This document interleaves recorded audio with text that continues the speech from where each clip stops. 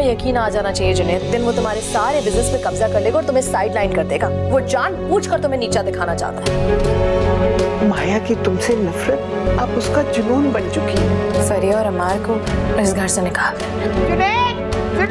इस घर में सबसे स्ट्रॉन्ग पोजीशन सिर्फ़ मेरी है। करार इतवार शब आठ बजे।